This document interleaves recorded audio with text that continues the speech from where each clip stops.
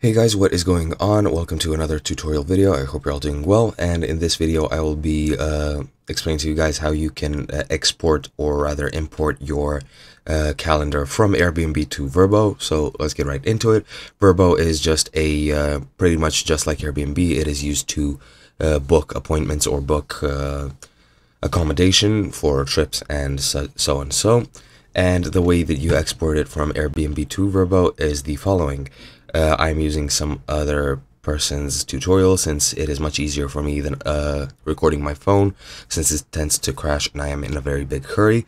Uh, but yeah, uh, what you want to do, do is go uh, on your Airbnb dashboard and go into listings, uh, go into pricing and availability and go into calendar sync.